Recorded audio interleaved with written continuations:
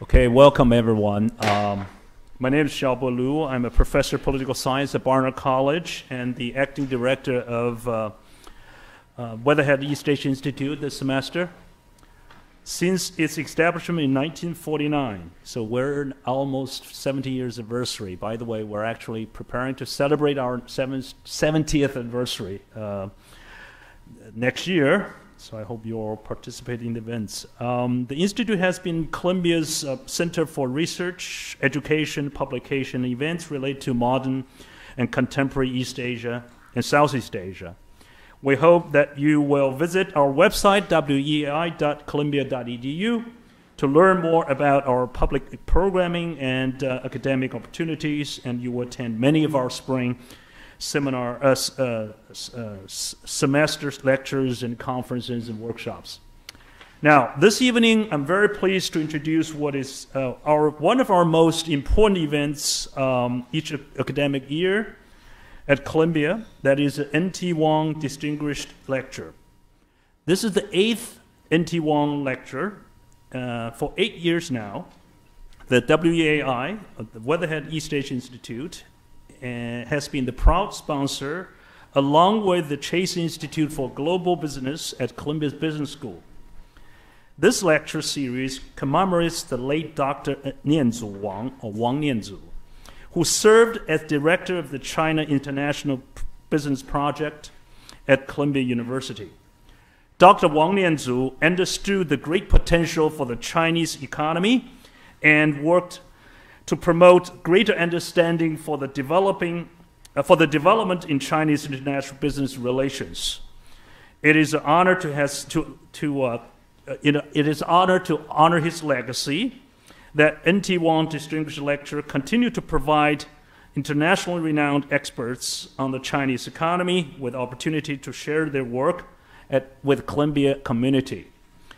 So I'm very happy now to invite Professor uh, Shang, Shang-Jin Wei, who holds the N.T. Wang Professor of Chinese Business and Economy at Columbia, to introduce our speaker today.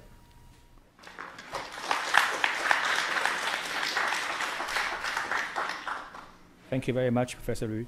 It's my uh, honor to introduce our speaker tonight, Professor Hanming Fang. Professor Fang uh, is uh, class of 1965 term professor of economics at University of Pennsylvania.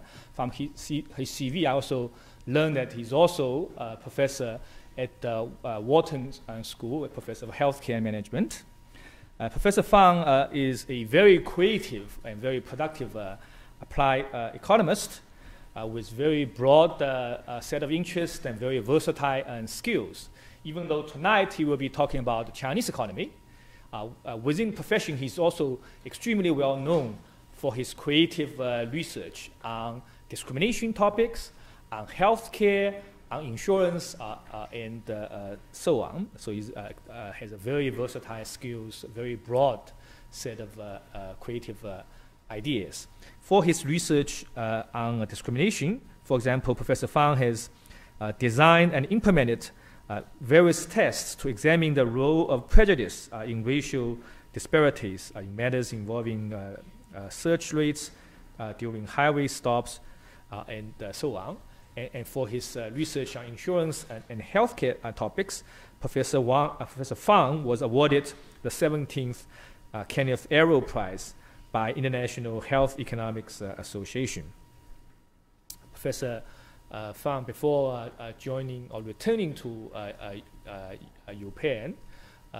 he was on the faculty of Yale University and faculty of Duke University. He was a, a graduate of, of UPenn some years ago.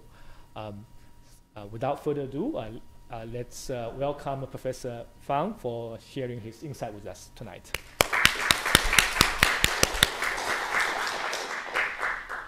Thank you.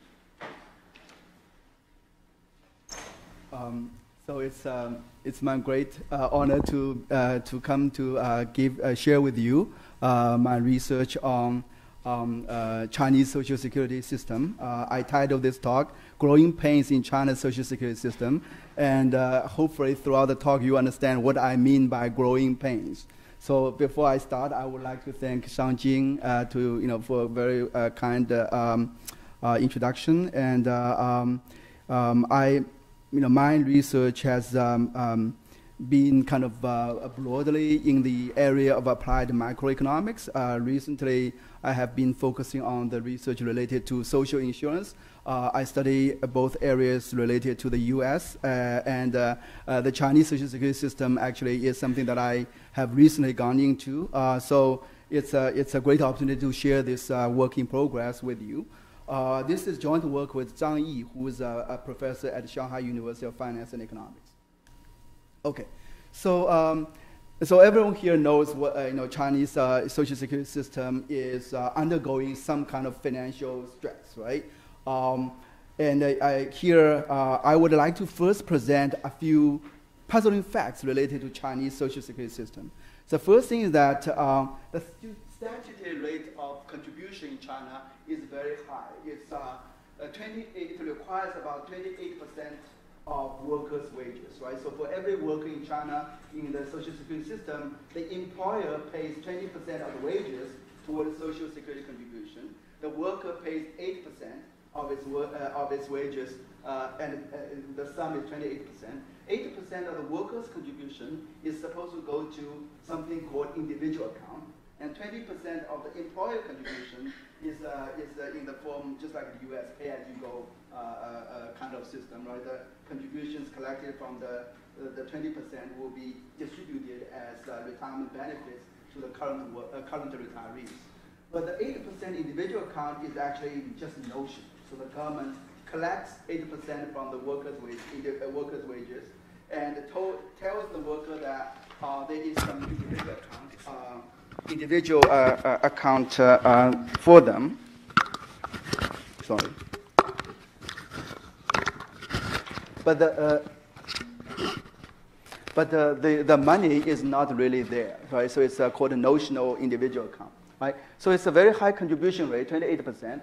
Um, the, the, the pension benefit rate is, uh, is rather low. I will explain to you there's a, a notion, you know, what, in what notion do I mean that pension benefit rate is low, right? And the demographic structure currently is still pretty favorable. Right? There's still a lot of young workers for every retirees in China, but it's projected to get much worse very quickly in the next decade also. Right? And the Social Security uh, uh, Trust Fund is already in deficit since 2014. So this is puzzling. Let me explain to you uh, uh, why. Right? Um, so the dependency, population dependency rate in China, population dependency rate, are measured by the ratio of um, individuals older than 60 divided by the population between 20 and 59. That ratio in China is 1 over, uh, is about 17.7%. It's 1 over 5.65. In other words, for every uh, individual in China older than 60, there are about there are 5.65 uh, younger workers between age 20 and 59 supporting that retiree, right? And, but at the same time, the dependency ratio in the pension system people who are actually paying into the pension system, uh, uh, uh, in the pension system is very different. It's only for every retiree, there's only 2.86 workers. Right? So in other words, a lot of the individuals between 20 to 59 are actually not working. So I will show you the numbers later, right? But even with, uh, so look at this, the, in the population, if the population dependency ratio is 17.7%, the pension replacement rate, right, uh, a retiree on average gets about 50% of the social average wage. So the, uh, this is the pension replacement rate is about uh, 50%. If you multiply the dependency ratio and uh, population, um, uh, the, the pension replacement rate, we should just, it should just require 8.7 percentage of contribution rate for the system to break even. But China, the, the statutory contribution rate is 28 percent much higher than what would have been uh, what would have required for the system to break even if every worker actually working age population is actually in the system, right? So this is one puzzle, right? Even if we were to use uh, 36 points, uh, 35.0, uh, you know, this 1 over 2.86 as a dependency ratio, in system dependency ratio, this number would just be around 16%, still lower than the 28% statutory rate. So how come um, uh, so that's one puzzle, right? So Uh, China's demographic structure is not uh, so bad yet, but system already is, is in, uh, in, uh, in serious deficit. Second puzzle is that um, in China, the, uh, the pensionable age, when can a, a worker start to receive pension, is very young. For male, it's 60. For female workers, it depends on whether you work in the uh, public sector or in private sector, right? So for the, pub, for the civil service, uh, civil servants or uh, workers in the, uh, in the uh, uh, state-owned enterprises, uh, the female pensionable age is 55. If otherwise, the female pensioner age is 50, so very young. Despite the very young pensionable age, there's still a lot of earlier retirement. So people even retire before they reach the pensionable age, right? That's rather unusual for a developing country, right? So um, um, so I will explain. So many people have been proposing that maybe China should raise the retirement age, right? My, theory, my uh, uh, talk today will explain that it may not be a good idea. There is a reason for why those, uh, despite the very young pensionable age, a lot of ma- um, male and female workers are retiring earlier than they officially become eligible for pension. Right? There is a, so I'm going to provide a story, a, a story of why that's the case. Okay? Another thing that I should point out that when I said the relatively low pension benefit rate, in China there are actually uh, two different kind of pension benefit rate. Pension benefit rate is refers to uh, the ratio of pension benefits relative to some baseline wage. So official pension benefit rate is pension benefits relative to something called social average wage.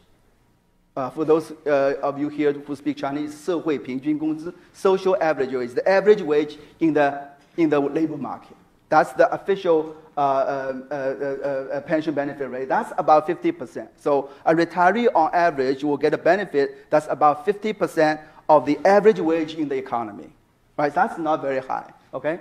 But there's another notion of a replacement rate. That's, this notion will be corresponding to the replacement rate in the US. It's the pension benefits relative to the pre-retirement wage that the, the retirees are getting right? It's the replacement rate relative to pre-retirement wage. That actually is quite high. 74% for the high income people and much higher for the low income uh, workers. Okay, so I will show you, okay? So, so I want to, uh, in this talk, I'm basically going to provide a story to explain, to a, a, unified theory that can explain all those puzzles. And that, that theory will have implications regarding what kind of reform may be feasible uh, you know, going forward for China. Okay, so I'm going to uh, start out by uh, filling you some details about these puzzles, right? So first of all, this picture shows you the dependency ratio of China versus OECD countries uh, measured in three different years, 2000, 2005, 2010. Each ring of the circle represents a level, 40%, 50%, or 60%. All these are the different countries. China is this one, right? In China, right now, in these three years, the dependency ratio is about 17%. 17% basically means that for every worker, the dependence ratio again is measured as the ratio of workers between 20 to 59, number of workers age between 20 to 59, relative to uh, individuals, uh, population above 60, right? That's the uh, standard definition of dependency ratio. In China, it's 17%, meaning that for every uh, individual older than 60, there are, five, uh, there are six um, uh, workers uh, between uh, individuals between 20 to 59 that can potentially pay into the system to, uh, to support the retirement uh, benefits of the elderly. Right? So it's still very young. Uh, Chinese demographics structure is still quite favorable for a pay-as-you-go social security system, okay? relative to other OECD countries. This, of course, will get worse over time as China, as the impact of one-child policy start to kick in, okay? Now, this is the labor force participation rate of, uh, of, uh, of uh, uh in China for those workers be between age 55 to 64, right? Chinese male, the labor oh, between this age group, the, the, um, the labor force participation rate is about 40%. the OECD average is 64%, right? For female, uh, the, uh, the, in this age group, the labor force participation rate is only 12%. Uh, the OECD average is 44%. Uh, uh, sorry, the OECD average varies whether you look at 2007 number or 2012 number, but it's about 45%, right? So here, basically, the question, the, the issue is that uh, the fact is that Chinese male and female labor force participation rate for the relatively old, 55 to 64, they are much lower than uh, the other uh, OECD countries. And if you look at the, you know, break down a little bit deep uh, uh, further, you can look at the, the, the, data from the 2010 and 2000 census in China. And you can see that uh, for different age groups, you know, male labor force participation rate, you know, is declining as you get older. That's not surprising, right? Uh, you know, 75 for this age group, a little older, a little, you know, the labor force participation rate is lower. And if you get, uh, if uh, in the age group of 60 to 64, it's even lower. And male labor force participation rate is higher than female. But interestingly, between 2010, 2000 and 2010, both male group and female group have, uh, uh, the labor force participation rate has been declining. Okay, so that's another thing that's interesting, uh, uh, that's important to point out. Okay? Now, this is the benefit retirement rate. Um, uh, in uh, the, this data, the CHARLS data set. CHARLS is China's Chinese version of the health retirement study data, right? Um, and this, uh, uh we collected this in this data set. We, we can divide the workers into different groups depending on whether their pre-retirement income is low, medium, or high. And this 288.3 uh, says that for low income group, for those workers, retirees whose pre-retirement income is in the low income group, their pension level is actually about three times their pre-retirement wage. So it's very generous uh, uh, benefit uh, replacement relative to the pre-retirement uh, uh, wage, right? For the high income group, you know, the, it's, a, the lowest level is 70%. So in general, Chinese social security system is quite um, generous if you use the pre-retirement wage as the, um, as the, uh, as the, uh, as the denominator in measuring the benefit uh, replacement rate. Okay? This is assuming the pre-retirement income is correctly measured? It is assuming it's uh, correctly measured. Literally pre-retirement wage or total income before retirement? Um, total income. This is the total, the pre-retirement total, pre-retirement wage income, wage income is being used in defining whether the, the individual is low income, middle, medium income, or high income group, and using the denominator in calculating these ratios. Okay?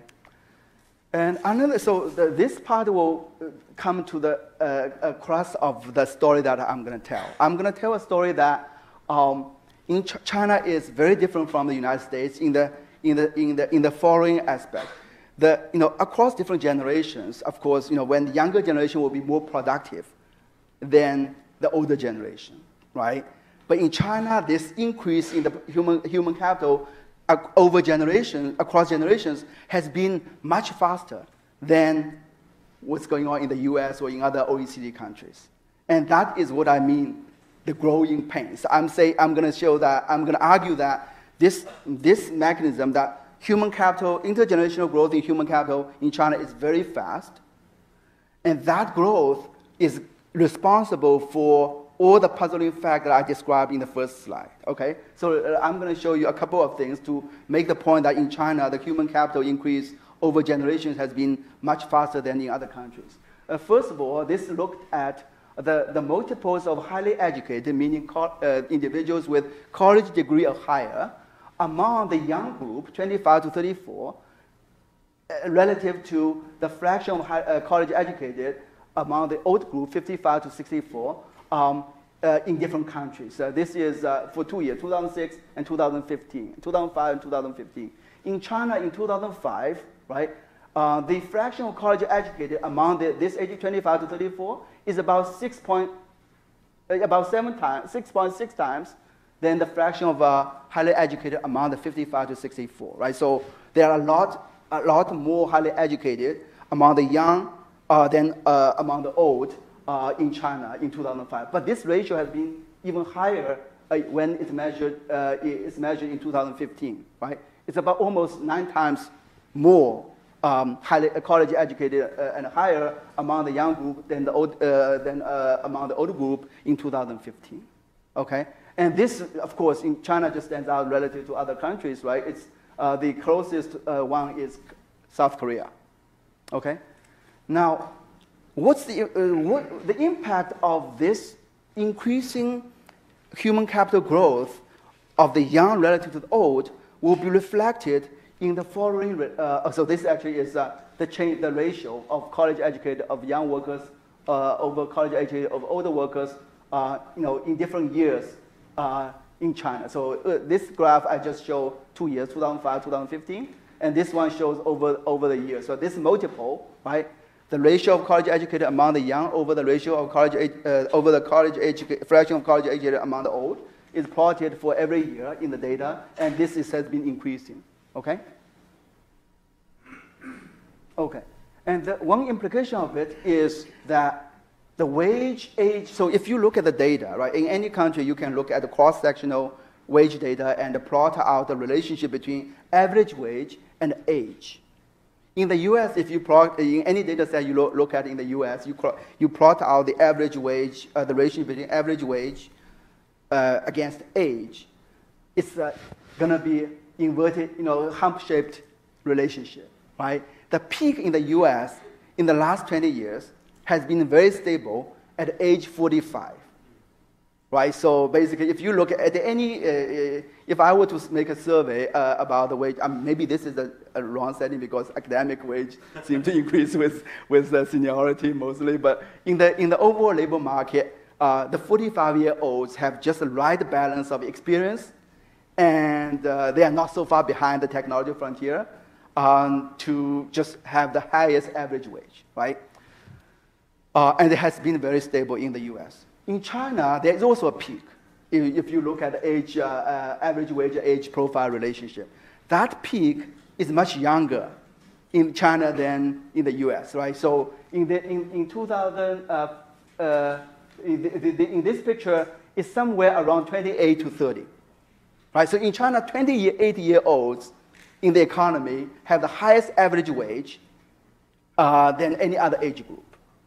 That's only, so I have a different paper uh, showing how the cross-sectional wage age profile can be used to make inference about the technological progress uh, uh, uh of different age cohorts. So the idea is that when uh, some worker, you know, enters the labor market, um, you know, uh, if uh, the, the, his wage is determined by how close he is to the technological frontier, right? And uh, so, the, so the younger cohorts have the advantage of being close to the technological frontier. The disadvantage is that they are not very experienced, right? So in a country where the, techno- the, the productive frontier, the productivity of each cohort is increasing very fast, the trade-off is in favor of you know, uh, the younger cohorts. The experience is you know, is not, is, is, is uh, the experience factor is kind of dominated by, uh, by the how close you are to the frontier factor, right? So this picture shows the fact that China has a, a, a this, uh, the hump age is around 28 uh, to 30, and that hump has been moving earlier, right? So this I showed only for the year 2014, uh, 2014 2015, using a China family uh, panel survey data. I have also used CHIP data, China uh, Household Income Program data, to look at earlier years, and the, the, the, the, the, the, uh, the hump has been moving up, moving earlier ages, right? Uh, to the earlier ages. So that's indicating that in China, indeed different from the United States or other more mature uh, OECD economies, uh, one important feature that the productivity of each generation is increasing at a much faster rate than in other countries, right? So that's going to be basically the key mechanism that I'm going to use to explain all the facts that I have described so far, right?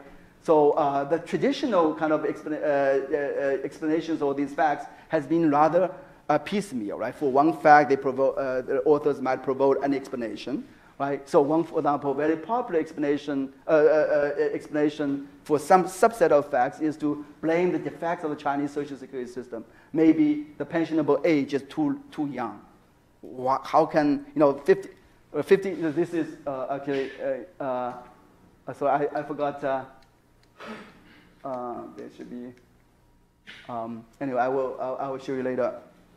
So a lot of, uh, uh, a lot of uh, Chinese retirees are, you know, eh, you know, dancing do something called square dancing, public square dancing, right? They are very young, very energetic. Nonetheless, they are retired, right?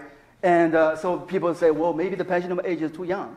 Why not increase the retirement age, right? So the problem we have is that if you blame the low pensionable age for some of the facts, the question is why don't we reform it? Why do we encounter um, you know, huge resistance from the public about increasing the retirement age, right? Moreover, why are workers uh, doing even earlier retirement before they reach, reach the pensionable age, right? So some of you might know family members or relatives who actually retired before they become eligible for pension, right?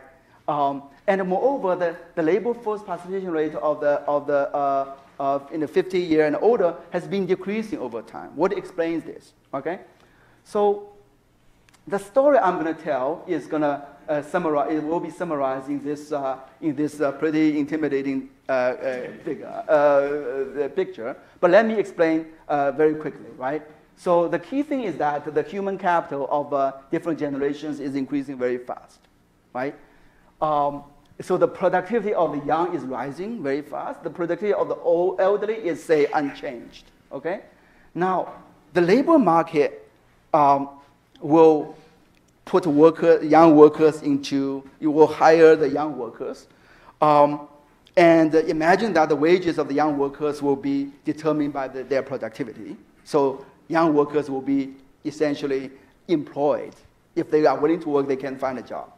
The older workers, however, for whatever reason, they, you know, they, they, they the, the labor market for the older workers don't clear in the sense that they, they would require a wage that's higher than their productivity.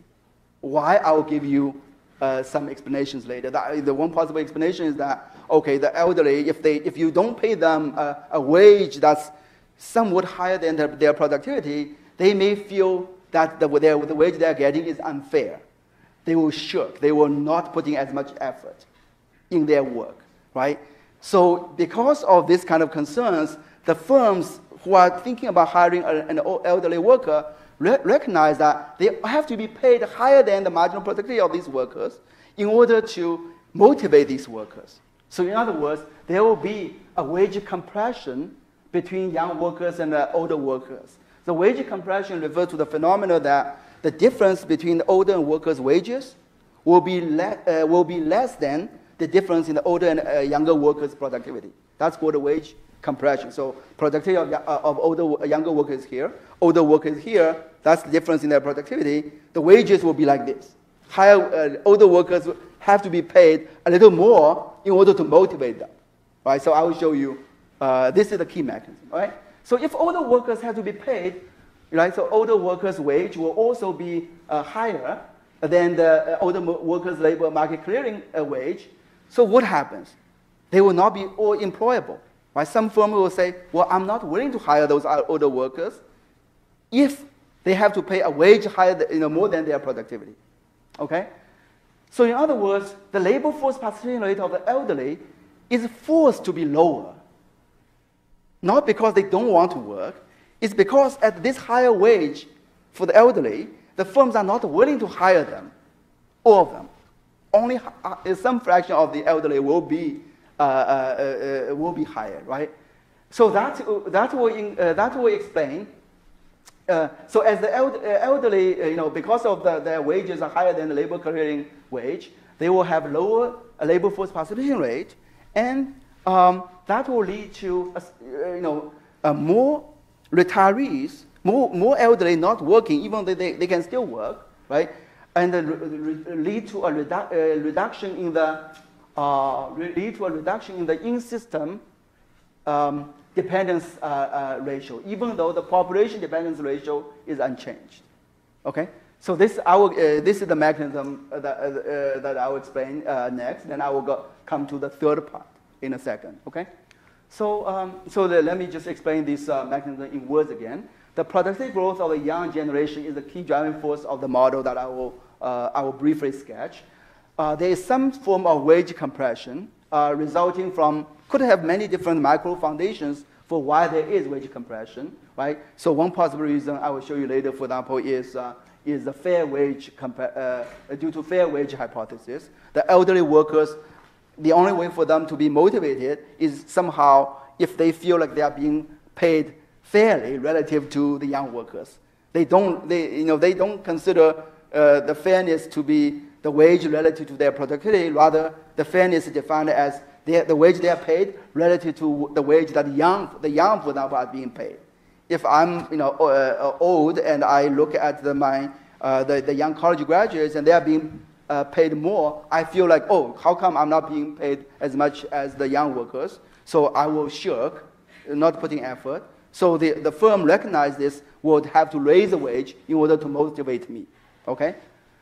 So for whatever, for whatever reason, because of the wage compression, the old uh, workers' employment will be rationed, in the sense that um, you know the labor, the firms will demand fewer uh, older, elderly workers, right? And the, the because of the, the labor demand, uh, uh you know the, the weaker local labor demand, um, the labor force participation rate of the elderly uh, results from that. Okay.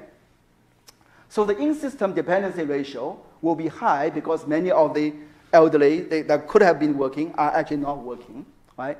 Uh, even though the population-wide dependence ratio is still low. And, uh, and, uh, and actually the, the, the, old, because they are now uh, spending more of their lifetime in retirement, in not working stat, non-working status, they have to save more also because they expect to be in retirement for longer periods of time, right? And uh, um, uh, the government, I didn't explain this, I will come to this later. the government will have to request a higher contribution rate from the, uh, from the, work, from the workers uh, because there are fewer workers working. They, they, many of the young, uh, older workers who could have worked is not working because of the uh, labor demand is not there. Okay? So, um, so all these things could be explained by this mechanism. I will uh, shed a little more detail later. So our explanation does not rely on the population aging, for example, uh, you know, prolonged life expectancy or descending total fertility rates and so on. It does, does not re rely on the effects of the social security system. In fact, we assume that the social security system in China is actually totally welfare maximizing. Nonetheless, all the facts can, uh, that, uh, that we observe can be uh, explained by this driving force that the intergenerational human capital growth in China has been much higher than in other countries. Okay? So, um, any questions before I go into a bit of detail about the mechanism? Okay. Yeah. So, um, um, firms don't want to hire old people. Old people can hire themselves. They can be self-employed. Why don't they? Okay, that's a great question. So, so uh, Shang-Jin's question is, you know, why don't I mean the, the question is really why don't uh, the older wages uh, define a new uh, comparison group to the. Currently don't because the pension is very generous. So if you can get very good income when you are retired, you don't want to work. But here you, you uh, pension as a as an outcome of your story. Right, right. Got actually reduced pension payments to you know people who retire too early. Could could that induce them to be self-employed? Right. So, um, I mean, my, uh, the, the story we are telling is that they, I mean, they could be self-employed now, right? But they are not. So uh, the, the, the, story we are, we are telling here, okay, so actually self-employment is a, okay. Right, so we, in, in China um, uh, right now, uh, if you, um, they don't lose pension, but there's no additional increase to, to the pension. So, right, so there's no, uh, if you work more, you can still get the pension. But there, uh, uh, uh what happens in, in among the elderly, we, in the model, we, okay, um, think about these workers who are retiring earlier than the pensionable, pensionable, age, pensionable age, right? They could have continued working, right? So the question is, why are they? Why, maybe, and moreover, this uh, earlier retirement than the pensionable age has been, this phenomenon has been increasing over time. So I understand there could be other explanations for why this is the case. What we are saying is we are proposing one possible mechanism through which that this may arise as a, as a perfectly optimal phenomenon. But I'm saying your story seems to have the assumption that old people cannot hire themselves. They have to depend on firms demanding their labor. Right, right. Um, Right. Um, right. So I guess we can build in that. Right now in the model, we don't have it. Okay. Other que okay, question? About the cross-sectional uh, average uh, among the age groups, mm -hmm. the average wage Mhm. So, uh, do you have analysis like separated into private sector and public sector? Just curious, like the average amount of private sector, naively, I would say that relies more on the technology frontier and Right. experience. Mhm. So, if you sort of decentralize the SOE, public sector. Right. So in the other paper, we definitely do this uh, by, uh, by you know, looking at uh, primarily on the private sector. Okay, so Right. private sector is the same thing. What about the public sector? Do they, do we see the same pattern as in the US? That's a great question. So I, I, I, don't, I, I don't recall these uh, detailed numbers, but I, I think we are, mo- so because we want to make sure that the, um, the wages reflect the productivity. So we are, in the, in the, in the study, we have been focusing on the private sector wa- uh, employment. So everything you have been talking about is Is private, Private sector. private sector, Oh, right, private right, right, sector. right. Okay, That makes sense. Yeah, yeah. Um, I'm wondering if your data is for all workers or urban workers or rural workers. Urban workers. Thank you. And I, I would just point out that that leaves out a very key section of the population. Right. So, so, so all these discussions, I for, forgot to mention, all the data work is re- restricting to urban workers. Okay.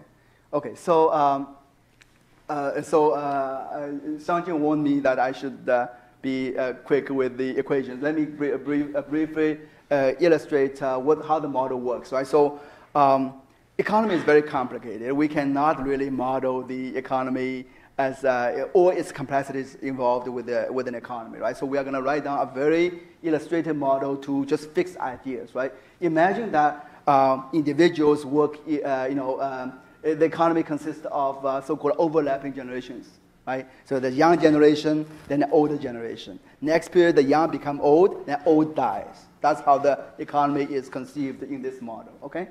And uh, the, the youth, uh, their uh, time period will be normalized to one, uh, one period. So in the empirical work later, the, the, the, the, the youth uh, period is between age 20 to uh, 59.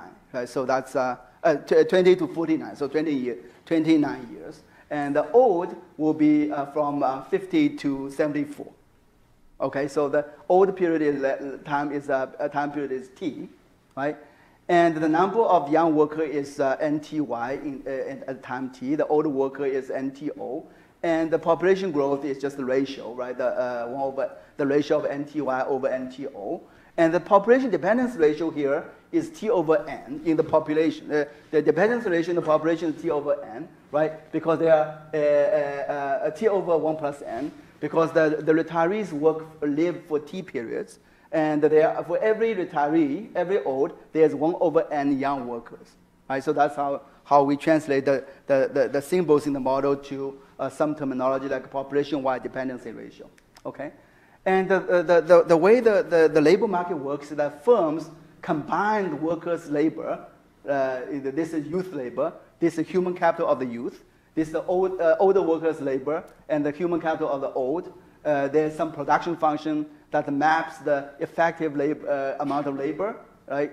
Uh, number of workers multiplied by human capital to some kind of exponent to create some output. And they have to pay wages. The older workers' wage, the younger workers' wage, right? The, uh, the human capital growth from uh, older generation to the new generation is uh, this growth rate is G. G in, Chi- in, in Chinese data is about 6.13% uh, annually. Much in the US is about 0.5%.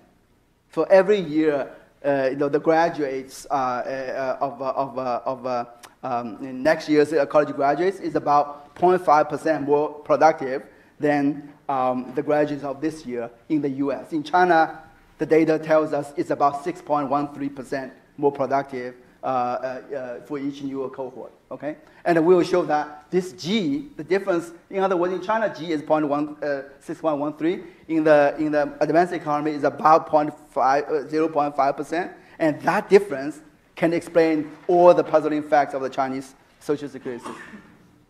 Okay, so we, for simplicity, we assume that the young workers will always be higher. So their wage will be determined by their marginal productivity, and all the, all the young workers, the NTY younger workers, they will be exactly equal to the L, the amount of the young workers being hired by the firms. So the labor market for the, for the youth exactly clears. Okay? For the old, for whatever reason, older wage, older workers' wage is WTO, is related to the younger workers' wage. Maybe because of the, even though their productivity did not increase, they demand a wage increase commensurate to proportion, in a proportion to the increase in the younger workers' wage. The younger workers' wage increase is, is justified by the increase in their productivity. Older workers' productivity is not changing, but for whatever reason, they demand a higher wage to be somewhat related to the increase in the, in the younger workers' wage because of fairness concerns and so on. Okay? And that creates a problem. So because the older workers' wage is, is no longer labor, uh, clearing the labor market for the old, so the, the, the, amount, the, number, the fraction of older workers, LTO, the, um, uh, the amount of older workers that will be hired, LTO, relative to the number of older workers in the economy, this ratio is going to be between 0 and 1. Right? Basically, basically given the higher wages that the, uh, the firms have to pay for the older workers, they are not willing to hire everyone. Right? Because if they were to hire everyone, the marginal productivity of the older workers will be too low. Okay? So this is uh, uh, basically uh, the key story. So older workers are not working. The labor force participation rate of the older worker is lower than is low because of the rationing coming from the, the fact that their wages, right, the, the, the older workers' wages have to be higher than the market clearing level for reasons related to, uh, you know, fair wage hypothesis or other reasons. Okay. Now, when the WTO, uh, so WTO, uh, moreover, this WTO, uh, sorry, PITO, the fraction of older workers that will be employed will be lower if the growth rate of human capital is higher. So if every cohort, the productivity of younger workers is increasing at a faster rate, right, the, the, the, the, the, the, fraction of older workers that will be hired will be, will be lower, right? So China, from 2005 to 2015, this G has been going up, right? So if we go back to earlier, earlier uh, picture, uh, this ratio of college educated young over college educated old uh, was 6.6 in 2006. It, it's gone up to 9.6 in the uh, 10, uh, 80 years later, right? So we are saying G has been incre increasing over time in China. Okay, so when WTO, uh, sorry, PITO is decreasing, what's the, in the model, what is the actual retirement age? Well, the youth, youth are working, so you know, they, they, their lifetime, uh, the youth time period is normalized to one, the, so they are working. The, the, uh, the, old, uh, the, the time interval of the elderly is T, but only the, those elderly are working only pi TO fraction of the time. So the retirement age, actual retirement age is 1 plus the youth plus the fraction of retirement that reti- uh, older age that they're actually working, right? So this is the actual retirement age. When that, that PITO is lower, the actual retirement age will be decreasing as well. So PITO will be lower as G increases. G increase or therefore results into a lower actual retirement age, reduction in the labor force participation rate of the elderly. What is the in-system dependency ratio? Well, uh, uh, um, the denominator here is the number of uh, um, um, uh, uh, workers, right? So the, all the young workers plus the older workers who are working. So that's the denominator, right? The numerator, sorry, uh, the, the numerator, sorry, uh, the numerator is a fraction of retirees, right? They're NTO older workers. They live for T periods, but they are not. Uh, they are they are uh, uh, not. they are retired, trying to receive pensions with one minus pi TO fraction of the time, right? So this is the the overall uh, in-system dependency ratio, right? And the population-wide dependency ratio is always T over N, so it does not change. But as pi TO uh, decreases, right, as, as a result of increasing G, this in-system dependency ratio will decline, uh, uh, will increase. When, when pi TO um, decreases, 1 minus pi TO will increase, so the, the in-system dependency ratio will increase as a result of, uh, of this mechanism, okay? So, uh, so that's basically the story, okay?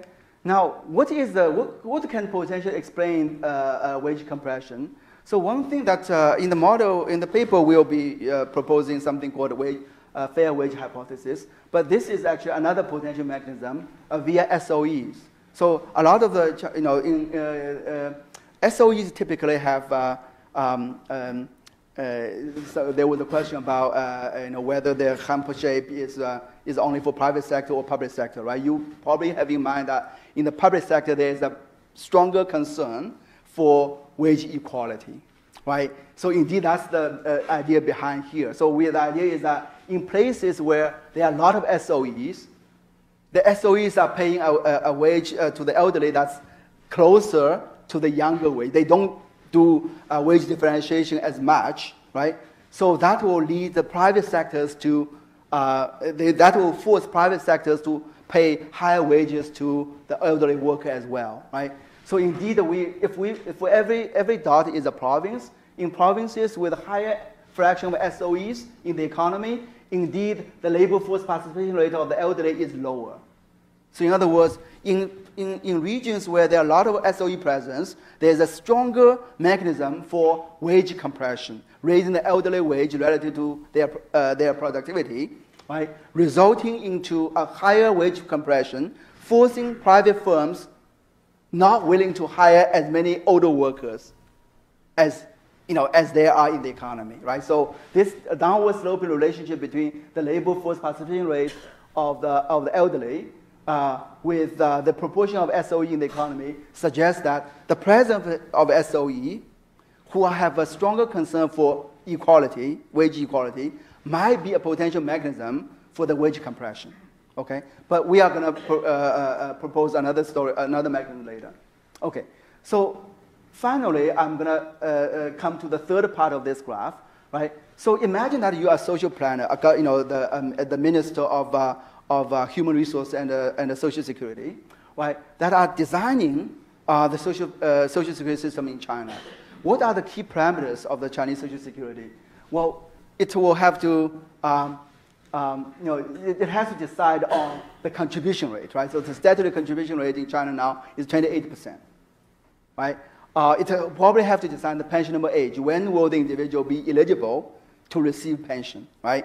So we are going to say that a social planner is actually trying to understand that uh, there is this concern for wage uh, the, the, the uh, force for wage compression, and is concerned that if they were to um, uh, when, if, uh, the, the, if the individuals were to, um, so actually, let me go this. So the, the, the, the, the, government will set the contribution rate, then firms and workers will decide on labor supply and demand, right? the government understands that a different level of contribution rate will lead to uh, a different equilibrium between firms and workers in terms of how long they will work and, uh, and, and so on, right? So it turns out in this model, um, um, uh, the, the social planner's optimal uh, contribution rate will be related to this parameter. It, it will be this. I'm going to uh, uh, skip this, uh, this, this expression and just explain, explain this, right? The optimal contribution rate will be related to this pi o, the fraction of elderly that will be working, right? So if pi o is low, the optimal contribution rate will be high for the, for the social planner, for the government, okay? And, uh, um, and the, um, uh, the optimal benefit replacement, replacement rate relative to social average wage will be related to pi o as well. If pi o, the fraction of elderly that will be working, is lower as a result of uh, higher level of, uh, of G, the growth of human capital rate, the uh, benefit replacement rate relative to social average wage will also be lower. Okay?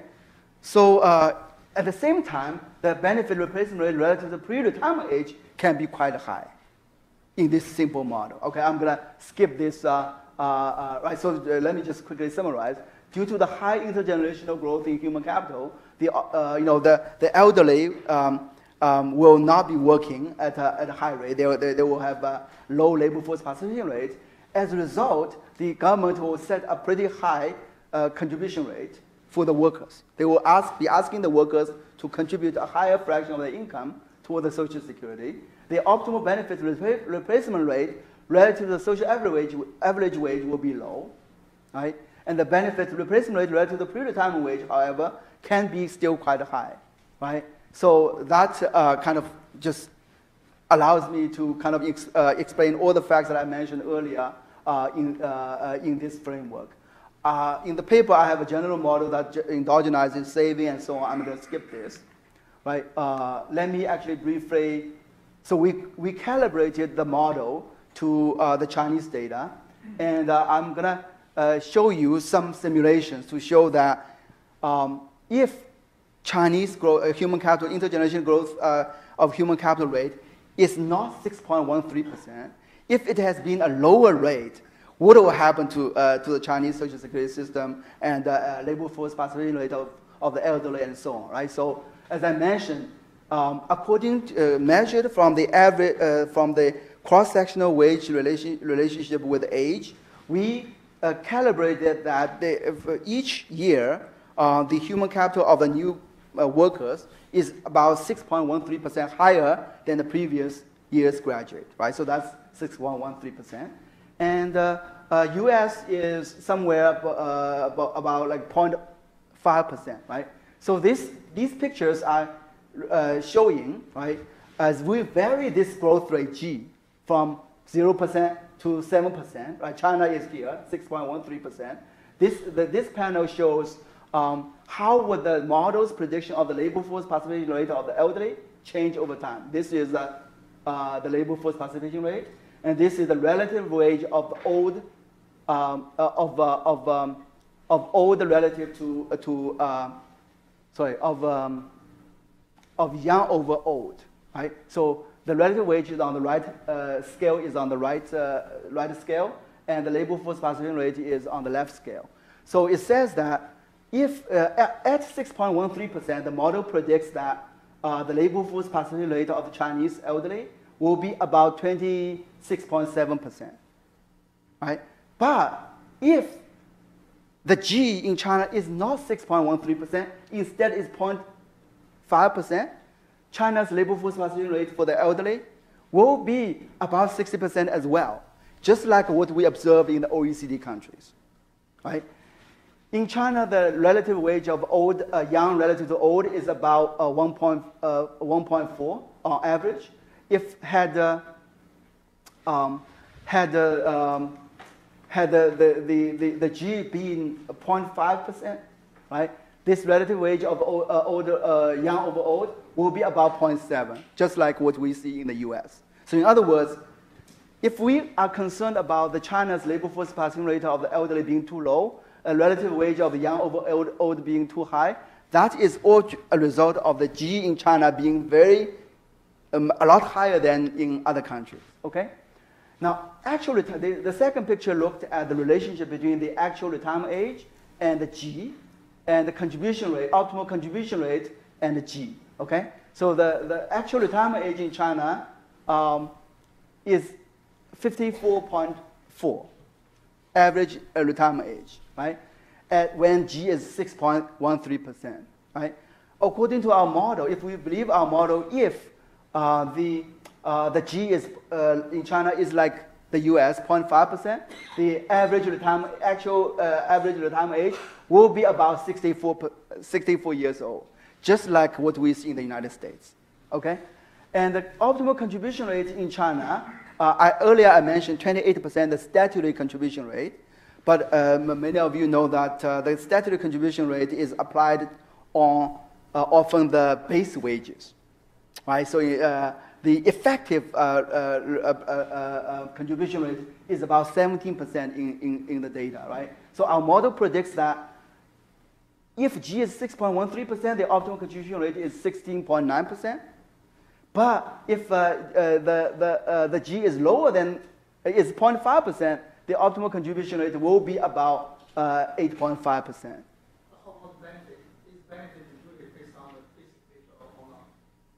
Uh, say like a benefit. Uh,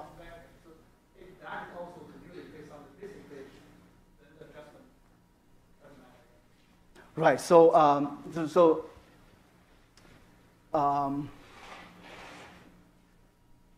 right. So we uh, in the in the in the in the uh, in the empirical analysis, when do the calibrate, we do the calibration, we are not, we understand that, we, you know, some of the, we, are, we observe the wage, base wage income re, uh, relatively well. A lot of in-kind payments that the Chinese workers are getting from their firms, we don't observe them very well, right? So we are, we are everything is adjusted uh, relative to um, the base wage. question. Yeah. So the pension benefit rate is related to base wage or related to total income? You said total income, but it's the truth, uh, cheating question. No, it's base wage. So two, 288% that the picture, the, gra- the figure, uh, the table we show is base wage. Right. So related to total income, it should be lower. Relative to income, it could be lower. Yeah, yeah, yeah, yeah.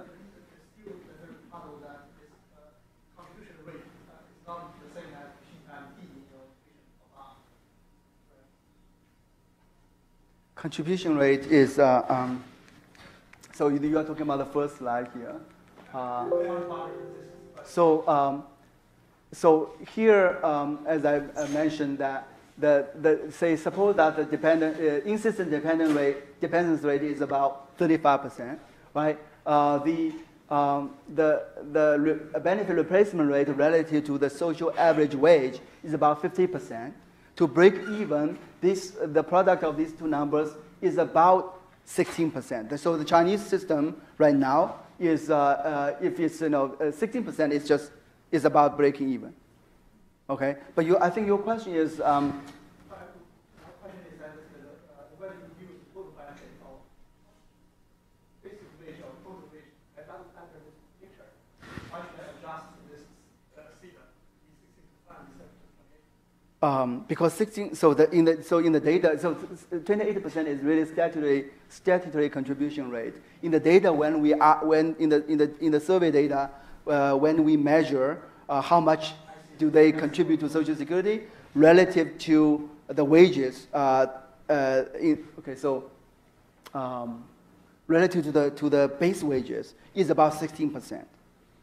So, uh, meaning that a lot, the, our average is about 16%. So, meaning that a lot of workers, this is one of the things that people mention as a potential explanation, there are a lot of avoidance and evasion to participate in the system. Even for those workers who are, work, who, who are actually working, they are not participating in the social security system. The average uh, contribution rate of 16% comes from the total amount of social security contributions divided by the total uh, uh, base wage earnings of all workers, including those who are not in the system, uh, who are not participating in the social, social security system.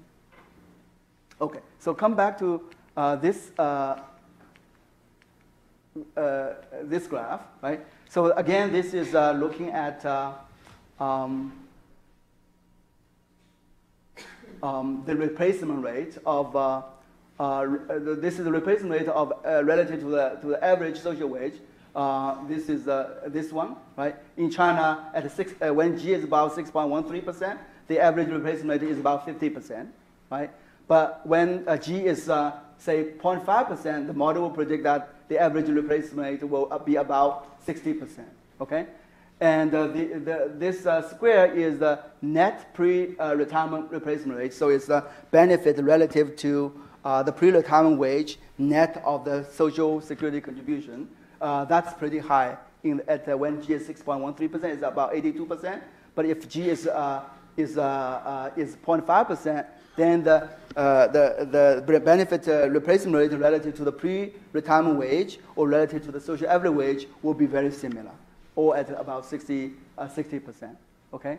And finally, this picture look at the dependency rate in the, social, in the social security system and how that varies with, uh, with G, right? So the population dependency rate really does not change, right? It's, uh, it's T over 1 plus N. That's a constant, okay?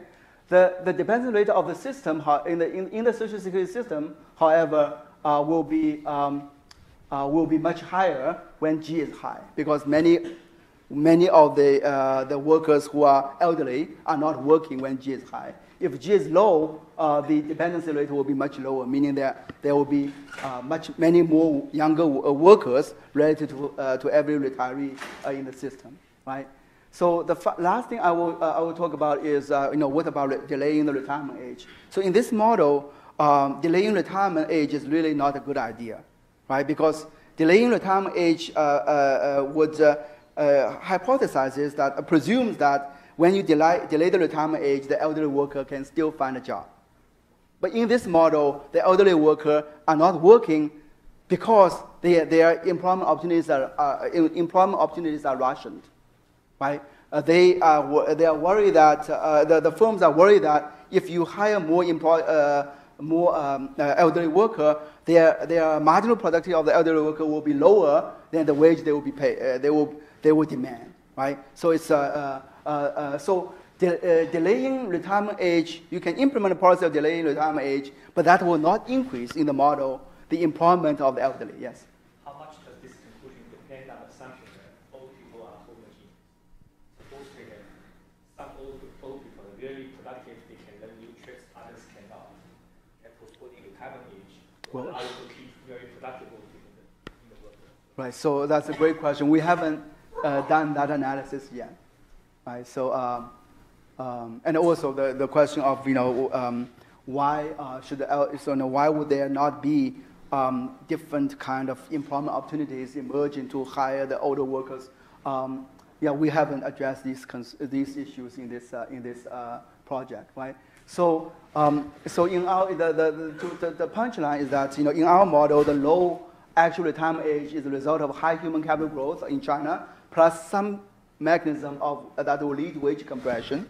So, uh, you know, uh, the elderly are not working because uh, they are rationed from the labor demand side. So the, that's uh, the title of the, of the paper, right? The problems facing China's social security system is really a problem coming from uh, high growth of human capital over different cohorts.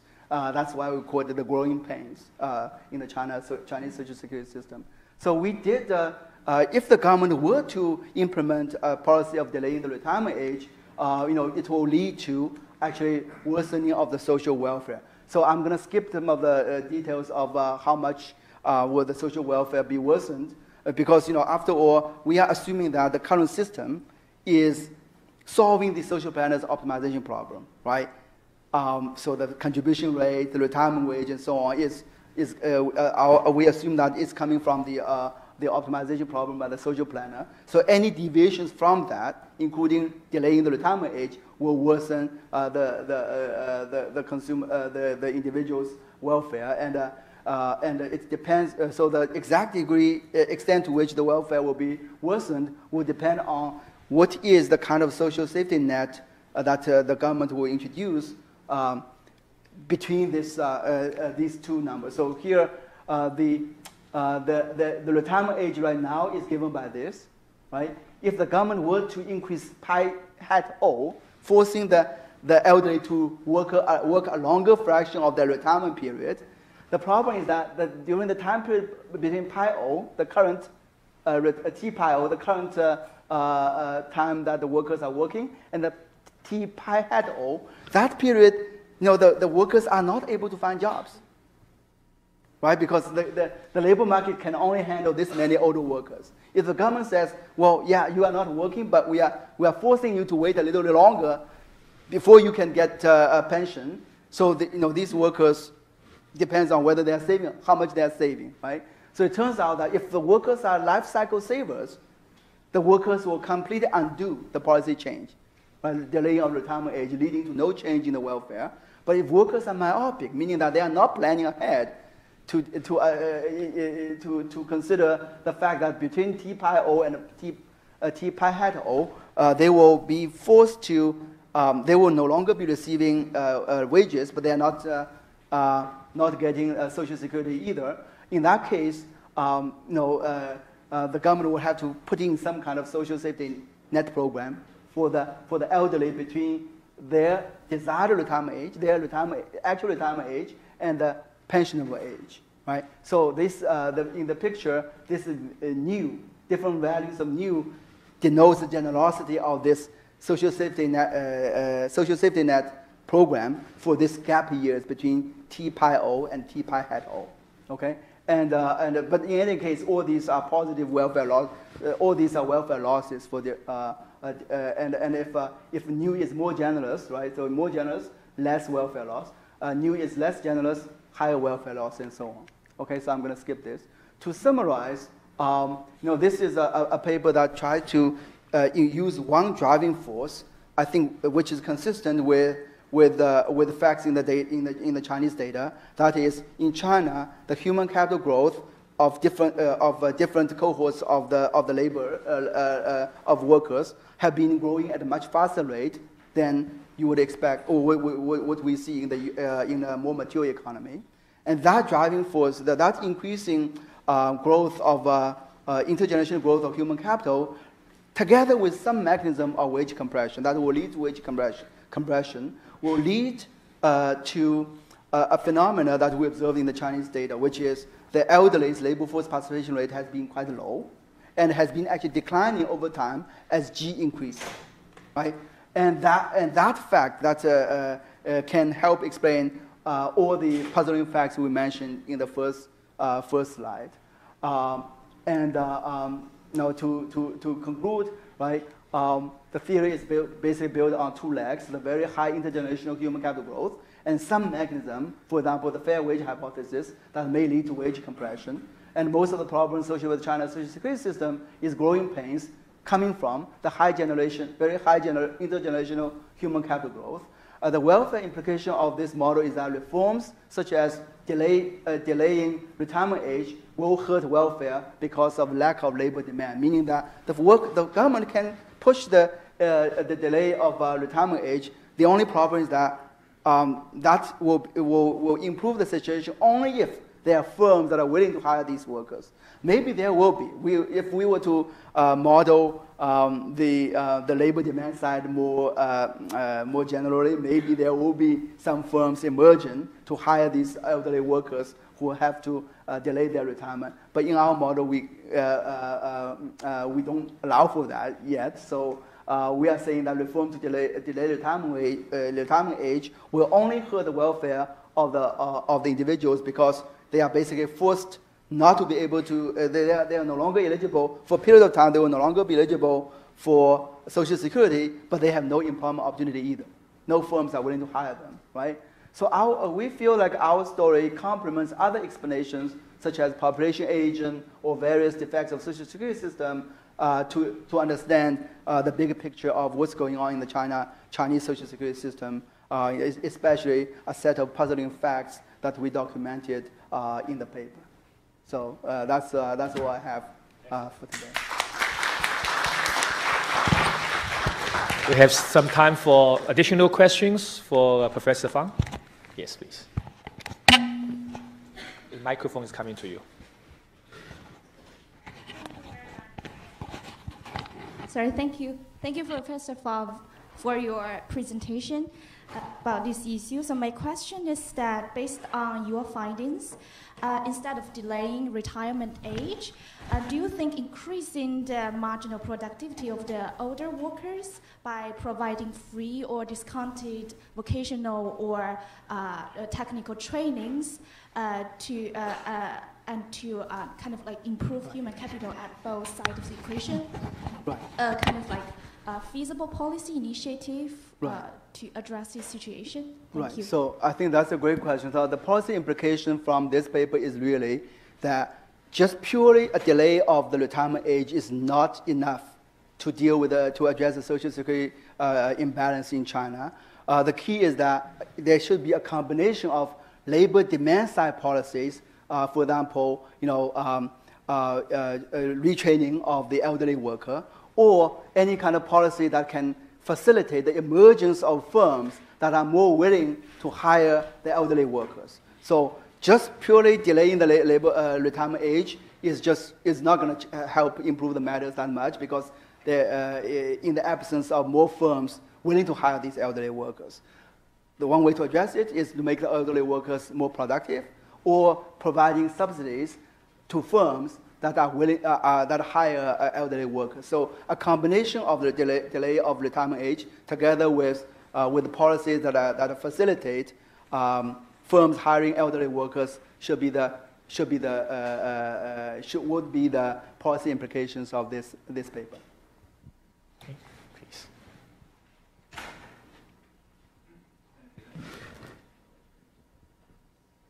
Just, just get it closer to you, it might, might work. Okay, oh, that's Yes.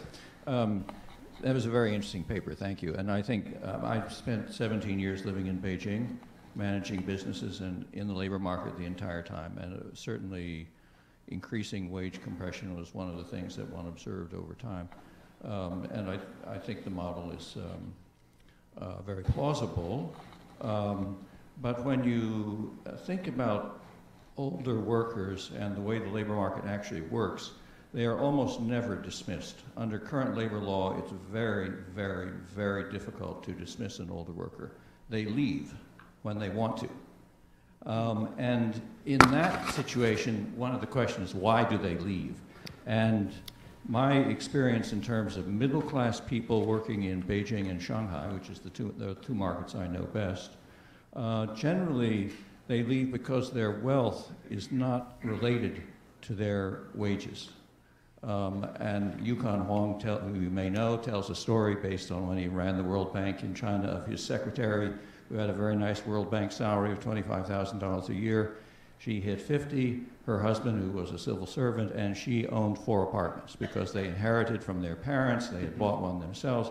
Their estimated net worth is between three and four million dollars US. Um, their financial consideration has very little to do with the fact that you know, she was going to continue working for Yukon mm. at the World Bank for $25,000 a year. And I think that's true of, uh, you know, I, I, can think of many, many people, and this is admittedly anecdotal, but I think if you look at the transfer of apartments in urban, from, lost this, oh, here we go, from SOEs to individuals at a very low concessional rate, right. that was an enormous transfer of wealth and it is playing a role in terms of their decision to retire right. uh, today. So I think that's an additional factor in terms of retirement. But I have another question for you. Yeah.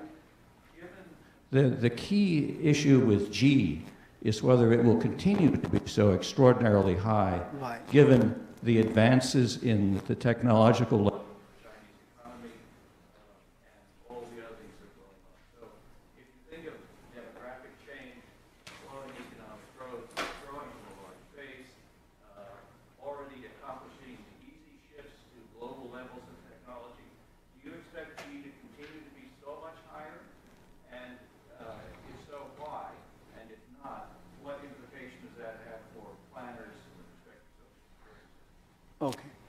So um, uh, really uh, uh, the two great uh, uh, comments. Uh, the first comment about you are essentially asking about the role of housing, right? and commen- commensurate increase in wealth because of the the older generation has benefited a lot more from the housing reform than the younger generation. So I think that's a so actually I have a uh, another research project exploring the role of housing reform uh, in the, uh, as, a, as a form of um, intergenerational wealth transfer, uh, which is what Social Security is doing, right? So China has been growing very rapidly, um, and, uh, and, but no, uh, presumably the growth, high growth rate will eventually come slow down, right? Or will, will, will, will, will, will decrease. Um, pay-as-you-go system the problem is that when the economy is growing very fast, uh, it's relatively easy to maintain a, pay, a generous pay-as-you-go um, uh, social security system. The only problem is that uh, a generous social security system uh, put in place when the economy is growing very fast may run into problems when the growth rate slows down. Housing, uh, you know, is a, form of, um, of, uh, of intergenerational wealth transfer that will automatically adjust to the changes in growth rate. So the idea is that you know, in the, when housing reform started in ni- early 1990s, a lot of the, uh, you know, uh, the SOE workers got to purchase their apartments at a very low rate, right? It's like they got the uh, initial uh, IPO of the Chinese housing stocks, right? And these IPOs become floated in 1998 when housing reform, uh, when China uh, opened up the housing market housing price appreciate dramatically, just like the IPO shares of a good company will typically appreciate a lot. And that became wealth transfer to the elderly. And, but the, the nice thing about the, the housing price is that it's forward looking, right? When the economy slows down, uh, the housing price will no longer appreciate as, as fast as it used to be. So uh, in that paper, indeed, we argue that housing, uh, uh, uh, uh housing can be a really nice way to uh, generate intergenerational socially welfare, social welfare improving intergenerational wealth, uh, wealth transfer that, does that can deal with the changes in growth rate, right? So that, so, but uh, that's one thing. But uh, your, your question is also related to the idea that, to the, to the issue that maybe a lot of retirement decisions is not a result of them not being able to find jobs, right? It's a result of them feeling wealthy. They want to retire, right? You know, if you don't, if you don't, uh, if your house, if your full apartment is worth millions of dollars, why bother to work, even if you are just 50, right? So I would say that uh, this may be true for some of the friends you know, but for, mo- for the uh, majority of the Chinese population, I think that's probably not uh, uh, the main uh, reason for them not be, to be working.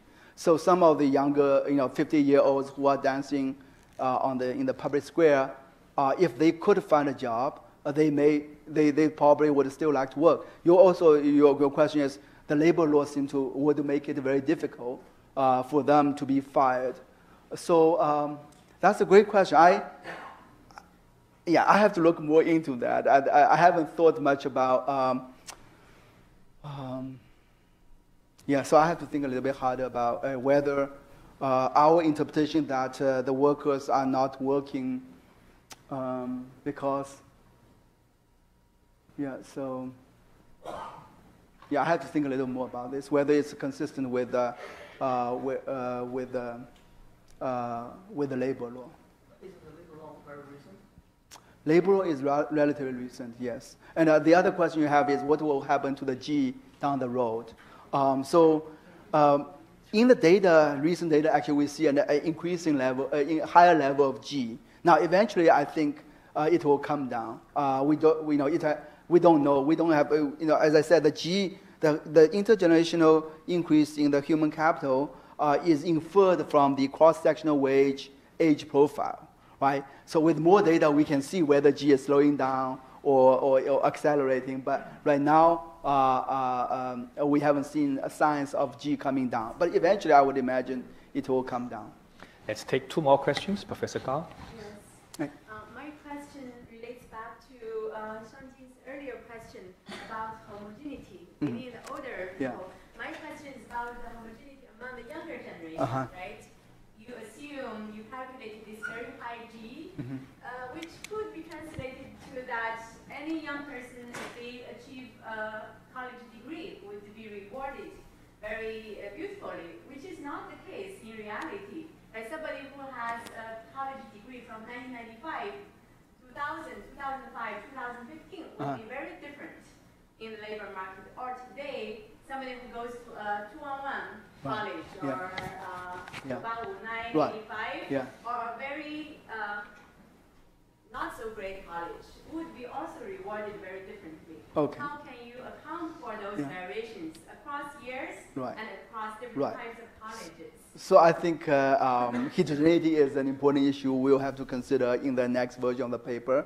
Right now, as you can see, the paper is very much a macro style paper. We are assuming representative agents of the youth and representative agents of the old, right? So any kind of heterogeneity within each uh, young youth cohort and the older cohort were ignored, right? So I think, uh, uh, but I think uh, um, um, maybe as a first cut, it's useful to see, just compare uh, to to kind of consider the averages of each cohort, but richer implications might emerge if we were to uh, introduce heterogeneity within each cohort. That's something we haven't done, but we'll we'll think about it in the next version of the paper.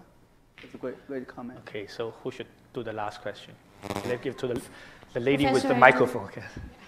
Professor, I do have a follow-up question on the fair wage hypothesis. Yes. Uh, its implication is that a elderly worker would rather go unemployed rather than accepting the lower wage. Is it because of the benefits of their early retirement um, option is higher than the lower wage, or is because their Chinese okay. elderly person is economically irrational? Okay, so this was a behavioral assumption about uh, the utility, the preferences of the elderly, elderly worker.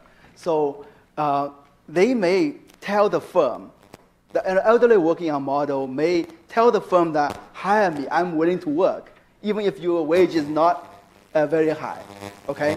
The problem is that a firm is, is, is anticipates that if a worker is hired at a low wage, uh, an elderly worker is hired at a, low, at a low wage, he, will be, he or she will be disgruntled when he or she realizes that his wage is lower than, say, what the younger workers are being paid, right?